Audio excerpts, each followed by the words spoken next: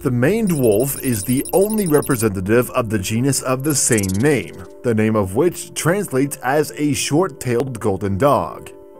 It's not a very large animal. His body length does not exceed 130 centimeters.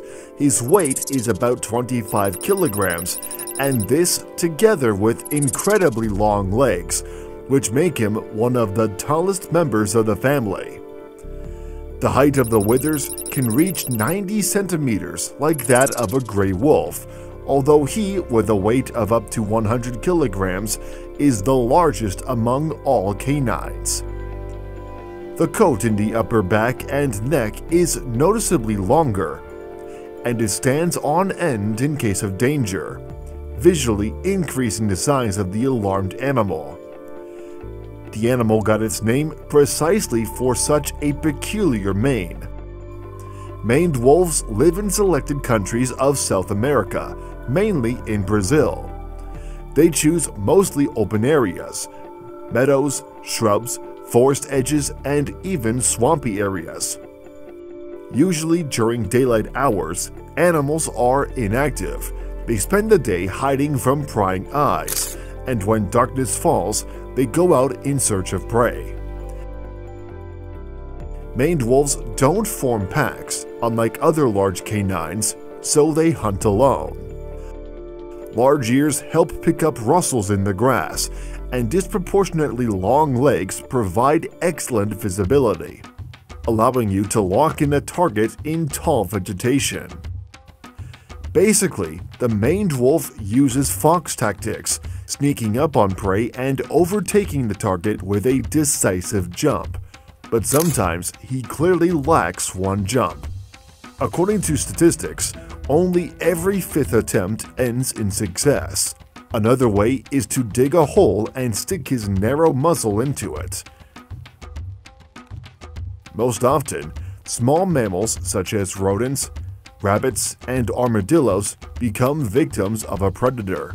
But sometimes predators prey on birds, insects, and even snakes. Although the latter can fight back, this is not the best prey.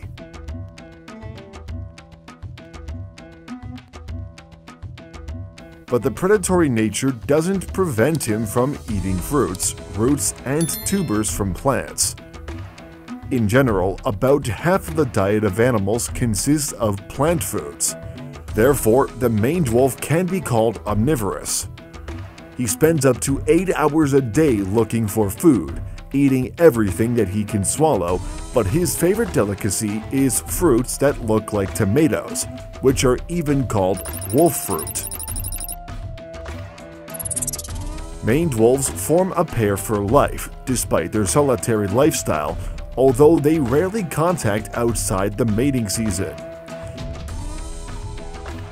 They occupy a certain territory, more often about 30 kilometers squared, and combine hunting with patrolling it.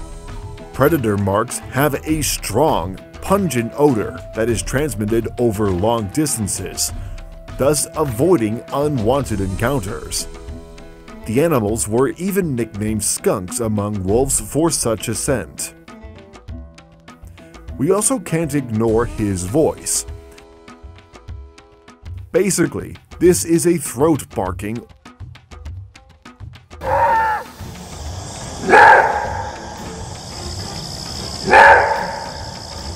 or the equally strange grunt, which is used to intimidate competitors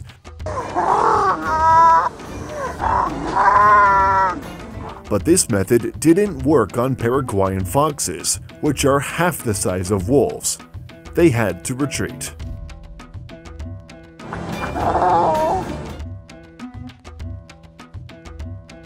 Although the maned wolf is the largest canid in South America, it is a cautious and shy animal by nature that prefers to avoid unnecessary collisions. Usually in summer or early autumn, from 3 to 6 puppies appear weighing about 400 grams. Moreover, in the first months of life, their fur is dark gray in color, and the tip of the tail is white. Their legs are short from birth, and only with age do they acquire the usual elongated appearance. Babies are mobile and playful, but in adulthood, males are noticeably more active than females. In the meantime, they develop skills that will help them survive without the help of their parents. In captivity, males take an active part in the life of the young. Together with the female, they teach puppies to hunt and protect them from uninvited guests. But in the natural habitat, the father role in raising the young remains unknown. After all, maned wolves are rare even in a relatively small habitat.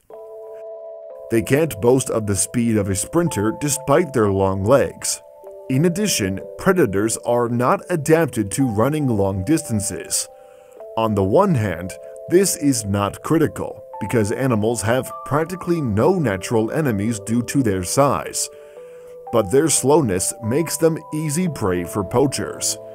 Hunting a maned wolf is prohibited, but the locals believe that some of the animal's organs help in the treatment of diseases, and the cowboys of Bolivia believe that bad luck will certainly bypass them if they sit on a wolf's skin.